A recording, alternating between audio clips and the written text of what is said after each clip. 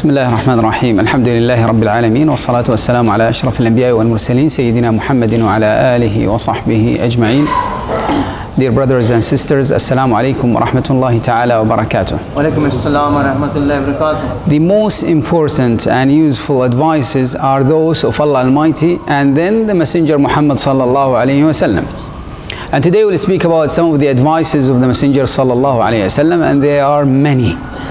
Basically they are dealing with two main topics.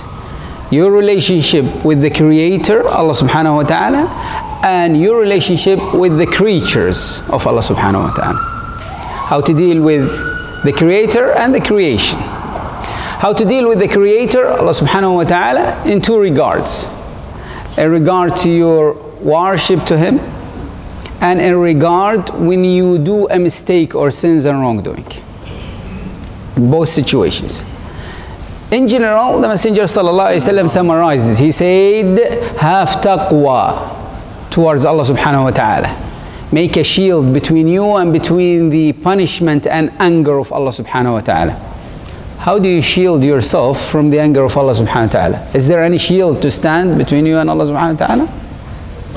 The concept is avoid angering Allah subhanahu wa ta'ala. Avoid disobeying Allah subhanahu wa ta'ala. Basically, how you do that? Simply, do what He required you to do, what He ordered you to do. Avoid what He ordered you to avoid. And that's it. This is taqwa. Now, uh, this, uh, the, the order of the Messenger ﷺ toward taqwa is repeated throughout towards many of the Sahaba who ask him for advice. However, we are human beings. And even if you are one of the pious people and righteous people, and you fear Allah subhanahu wa ta'ala, and you avoid angering Allah subhanahu wa ta'ala, you are still a human being, you will still sin and do wrongdoing. The Messenger sallam said, all sons of Adam are sinners. All of them. But the best among those who sin are those who repent. So what is the second advice? If you sin, if you make a mistake, then make a repentance. The Messenger ﷺ advised one of the Sahaba anh, and whenever you make any sin, then make in it a tawbah, a repentance. See how careful the wording of the Messenger ﷺ. He didn't say, then make after it or afterwards. He said in it. Because usually the difference between somebody who fears Allah subhanahu wa ta'ala and who is pious and somebody who is not is the one who fears Allah subhanahu wa ta'ala when he makes a mistake, even before finishing, even while he is doing it, he will remember Allah subhanahu wa ta'ala and turn back. So the idea is keep this point in your mind all the time. The second that is linked with it is be shy from sinning in front of Allah subhanahu wa ta'ala. The advice of the Messenger وسلم, to one of the Sahaba, he says, feel shy from sinning in front of Allah subhanahu wa ta'ala, just like you feel shy from sinning in front of one of the righteous people within your community. Usually, even sinners, they feel ashamed and shy to sin in front of people, and especially in front of righteous people. So here the Messenger ﷺ said, keep in your mind that Allah subhanahu wa ta'ala is watching, Allah subhanahu wa ta'ala is with you all the time. So do not, when you are alone, do not run and do sins and wrongdoings, God forbid. In the order of the Messenger ﷺ regarding the concept of taqwa, we have two wordings. The first one, fear Allah subhanahu wa ta'ala wherever you are. Wherever you are, very strange. But there is a reason behind it. The reason is that some people sometimes think that taqwa is required only in the masjid, for example, or only within your local community. But if you travel far away, if you go on a vacation, if you are a, a tourist, then taqwa is not required anymore. So that is why the Messenger is saying, you need to keep this concept of taqwa wherever you are. So this is the first part. Whether you are among righteous people or whether you are among sinners, God forbid. You need to fear Allah subhanahu wa ta'ala all the time. The second part, the Messenger ﷺ said, have taqwa, be righteous and pious, whether you are, whether it is in public or in secret. Whether you are in front of people or whether you are alone and there is nobody. So that is the concept of taqwa. The second part from the Messenger wasallam is if you sin and do a mistake and repent, then you need to increase good deeds. The Messenger wasallam said, if you sin, then follow the sin by a good deed so that it will wipe it away. Subhanallah. Allah subhanahu wa ta'ala mentioned this in the Holy Quran. Verily, the good deeds wipe away the bad deeds. So if you sin, make repentance and increase the good deeds so that it will cover up for that. To make up for your mistake. The part that is linked with people, the Messenger ﷺ summarized it with a beautiful phrase. He said, deal with people with high morals and good etiquettes. That's and the surprise here is that the Messenger ﷺ generalized the term people. He didn't say deal with Muslims, with your brothers, with the believers, with righteous people. He said with people. Deal with people with good etiquettes and good morals, high morals. خالق الناس بخلق حسن. Now, uh, there are many advices of the Messenger ﷺ about specific groups of people. For example, about the parents, as Allah subhanahu wa ta'ala ordered us in the Holy Quran live with them on good grounds and good dealings. The Messenger ﷺ advised, he said to Abu Bakr radiallahu anh, he said, and obey your parents. Obey your parents. Means as long as they are not ordering you to do a sin or wrongdoings or an injustice or something that is harmful to you or to others. If it is any part of that, then it is not, uh, you should not follow them. But if it is anything else, you have to follow them. Clear? The second thing is to reach out for the relatives. Abu Dharr he said that my beloved, the Messenger sallallahu my beloved, the Messenger sallallahu advised me to keep connection with my relatives even if they turn away from me. Remember, keeping a relation in Islam, something that is sometimes misunderstood by people and they treat each other on common grounds. If they visit me, I visit them. If they send me gift, I have to send them gifts. If they are good to me, I have to be good to them. And they think that they are keeping a relation in this way. That is not keeping relations. This is payment of favors or exchange of favors. Keeping a relation, this is the explanation of the Messenger of He said the one who keeps a relation is not the one who pays back but the one that when the relation is severed by them, he connects it. They are turning away, but you keep connection. One of the Sahaba of the line came to the Messenger وسلم, he said, complaining about his relatives. And he said, O Messenger of Allah, I keep connecting their relation with them and they keep on severing it and turning it away from me. I say good things about them and they say bad things about me. I send them gifts and reach out for them and they never do that. The Messenger وسلم, advised him to continue doing what he does. He didn't say, that's it, there is no need, you have done your duty. No, this is, this is your duty. Why? Because you are dealing with them in a kind manner in obedience of Allah subhanahu wa ta'ala. So the idea is you are following the order of Allah subhanahu wa ta'ala, isn't it? So the, that is why for a righteous person who is keeping a relation based on the orders of Allah Almighty, he will never change. Whether they are good or bad to him, because he is dealing with Allah Almighty in their regards. He's not dealing with them. So he will continue. While a person who is doing it for worldly gains, the moment something bad happens, some misunderstandings or uh, some rivalries and problems within the families, and he stops the relations. God forbid. That is not the concept. And then after that, reaching out to women and uh, good treatments to them. This was the advice repeated in the Holy Quran. Allah Almighty said, and live with them on good grounds the Messenger وسلم, advises a beautiful advice. He says, advise one another to treat women well. Advise one another to treat women with goodness. So the advice here, advise one another. Why this wordings and why here? Subhanallah, there is a reason and wisdom behind it. You see, sometimes a person is not aware. He's new to marriage life, for example, or to dealing with women and so on. And during speech or talking with somebody else, the other person advises him, you know, you need to be careful. From the beginning, you have to set rules, you have to set limits, you have to show them the red eyes, and you have to show them uh, your toughness, otherwise they will overpower you, they will uh, uh, overcome you, and so on. That is the exact opposite of the advice of the Messenger When somebody seeks your advice regarding women, what should you say? The Messenger said you should advise him to treat them with goodness and will. That is the advice of the Messenger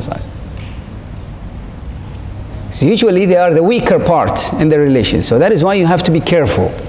The Messenger wasallam, he said, I highly forbid severely forbid the rights of two weak part in the society women and orphans. So that is why it is something that is that is why the messenger said advise one another.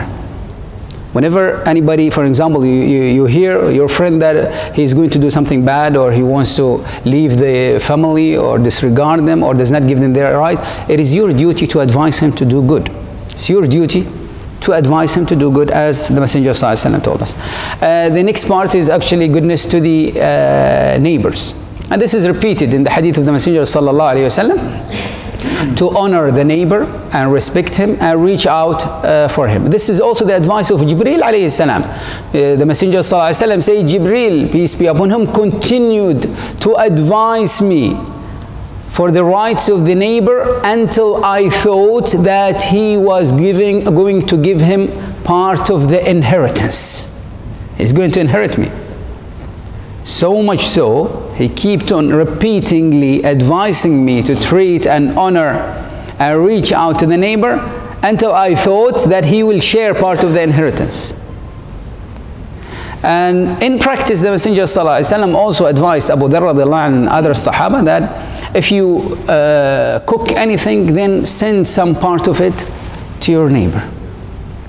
Do not belittle any favor, the Messenger of is speaking to women, do not belittle any favor that one of you does to her neighbors. No matter how little or insignificant it might be, send. The, the connection between neighbors is something that is uh, the advice of the Messenger of The other part of the advice is avoiding harming people, whether it is by speech or by action. One of the Sahaba came to the Messenger ﷺ asking him for advice. So the Messenger ﷺ asked him, Can you control your tongue? So the man was surprised. He says, Who am I if I cannot even control my own tongue?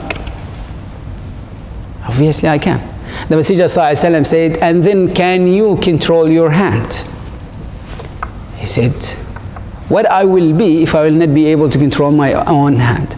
The Messenger ﷺ said to him, Then do not say anything except if it is good, and do not reach out with your hand to anything except with goodness. So whenever you are speaking, either say goodness or control your tongue. This is the this is the test. Can you control it? That is. And the same with your action. Whether you are dealing with someone that you know or somebody you do not know, whether you are angry or not, and so on. Uh, this was also the advice of the Messenger ﷺ to some of the Sahaba and other Sahaba. He says, never insult anyone. Never insult anyone. And do not belittle any kind of goodness. So avoid any type of harm and never belittle any kind of goodness. Even if just meeting someone with a cheerful face. Let me know, even that, do it. Do not think that this is something that is insignificant. This is something important in the sight of Allah subhanahu wa ta'ala. So even things as little as that, they are important as per the advice of the Messenger sallallahu alaihi wasallam. We'll conclude with uh, some of the comprehensive advices of the Messenger sallallahu alaihi wasallam. One of them was narrated by Abu Hurairah radiallahu anhu. He said the Messenger sallallahu said, who wants to take advices from me?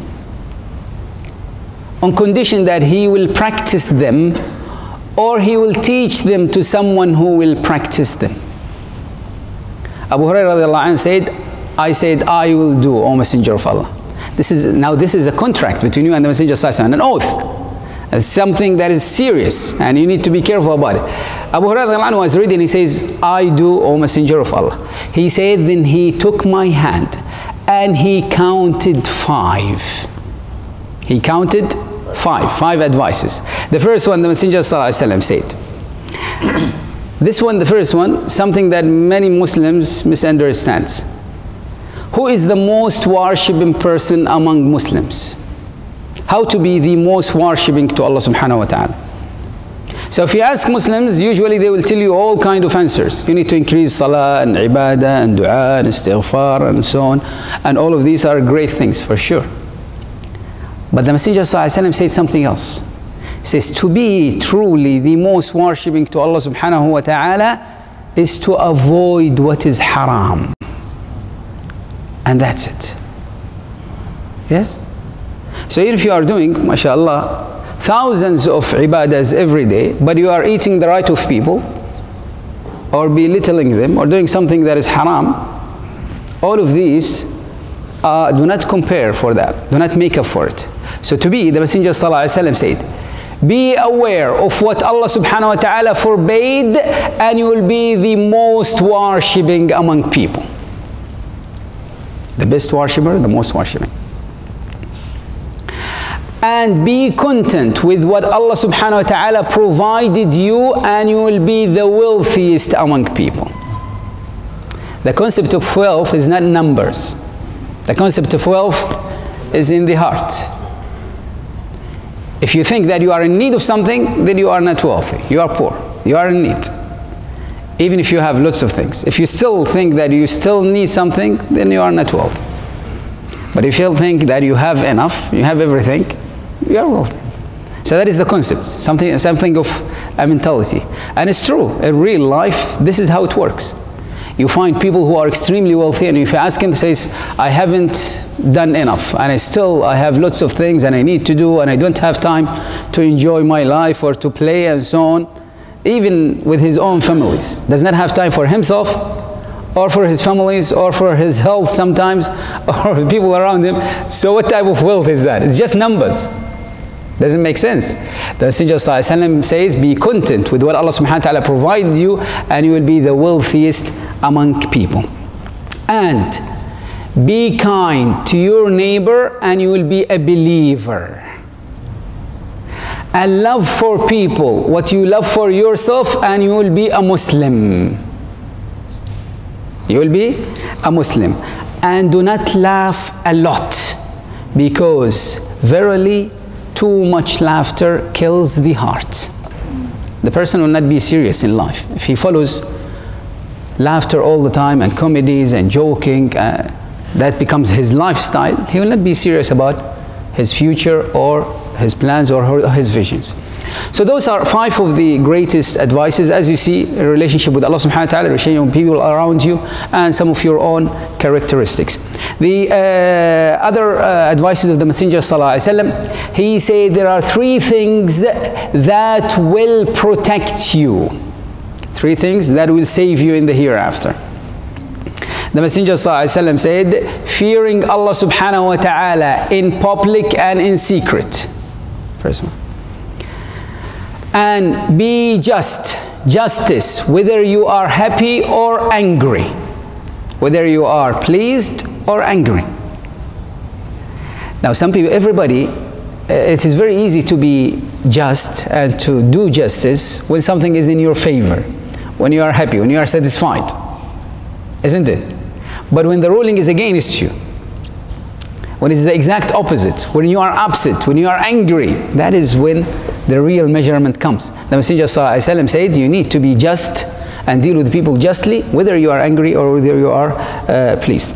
And the third one, the Messenger ﷺ said, and being balanced in spending, whether you are wealthy or poor. Whether you are wealthy means overspending and wasting and showing off and so on. Squandering wealth, this is something that is not a good thing. And whether you are poor means do not be stingy and, and, and afraid to spend just because you are poor. So you need to have that middle. And the concept of balance and moderation in Islam is something that is very important. The Messenger ﷺ said, and there are three things that are, God forbid, destroyers. They are going to destroy you. Means in the hereafter and also in this world. The Messenger ﷺ said, the first one, a whim, whims and desires that are followed. Somebody might have some whims and desires sometimes, but he does not follow them. He stops himself, he controls himself. Right? Whether it is in saying or doing or harming someone or taking revenge, whatever it might be, something that he wants to do, but it's not a good thing to do, so there are people who control themselves and people who follow that. The Messenger ﷺ said, the thing that will destroy you if you follow your whims and desires. Whatever you wish, whatever you hope for, even if it is wrong, even if it is an injustice, you are going to do it, God forbid, this is something that is going to destroy. Second thing, stinginess that is followed. An advice not to spend, to be stingy and selfish. If you follow that, God forbid, this is something, if you obey these, this is something that will destroy you. The example, sometimes you want to spend, for example, to send to your parents or to your relatives. And the wife comes and says, no, you cannot send, this is too much. We have children, they have universities, they have future, we haven't bought a house, we haven't uh, so and so and so forth. And this, if you follow it and stop spending, God forbid, the Messenger said, this is something wrong. You need to be careful. So whatever wrong advice that you might be getting from people around you, not to spend. The other way around. The wife wants to send to her family and so on and says, and the husband is saying, how come you are working here during our time, you are not doing the, the, the, the chores of the house and the duties and you still want to send the money to them and so on, what have they done for you? All of these, the Messenger ﷺ, the advices of stinginess, if you follow them, if you obey them, God forbid this is something that is dangerous. Do what is right. Always do what is right. And the last one, the Messenger said, and being proud about yourself. Being a show off. Being arrogant, thinking that you are better than people. This is something that is going to destroy. The, the way this one destroys, by the way, in two things. The first one, it will stop you from progressing. The moment you say, I am and I have done, you are talking about what you have done. So you will not be doing any money or very little. You will stop progressing. And the second one is that you will lose people around you. You will not be a team player. So people will not like to be part of your team or support you with your uh, visions uh, and work. Uh, last uh, uh, advice of the Messenger ﷺ that we are going to speak about concerning the nawafil. He advised us to increase the nawafil. Abu Hurairah he says, my beloved, the Messenger sallallahu alayhi wasallam, my beloved messenger sallallahu he ordered me with three things that I will never leave as long as I live until I die. He advised me to fast three days every month. And he advised me to pray the duha prayer. And he advised me to pray the witr before I sleep. So those are the three most important out of all the nawafil to pay attention to. There are others, but this was the advice given by the Messenger ﷺ in this occasion to uh, Abu Hurairah. As uh, we are speaking about fasting, we are approaching a day that is extremely important to fast. The Messenger ﷺ advised us to fast this, which is the day of Arafah. The Messenger ﷺ said, I count with Allah subhanahu wa ta'ala that He will forgive and remove the sins of two years for fasting the day of Arafah. The last year and the coming year. Now the day of Arafah is approaching us. It will be on Monday, inshallah.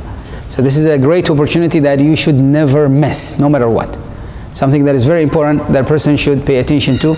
So uh, we need to advise one another of the advices of the Messenger sallallahu alaihi wasallam. Remind ourselves and remind one another of them and practice them and teach them to those who will practice them. Even if you are not going to do some of them, You still advise people to do it because maybe there are other people who are eager to do. When they learn that this is the advice of the Messenger وسلم, they will do it uh, inshallah. We pray to Allah subhanahu wa ta'ala to make us among those who follow the advice of the Messenger وسلم, and make us the companions of the Messenger وسلم, in the hereafter. Ameen. Wa sallallahu ala Sayyidina Muhammad wa ala alihi wa sahbihi ajma'in.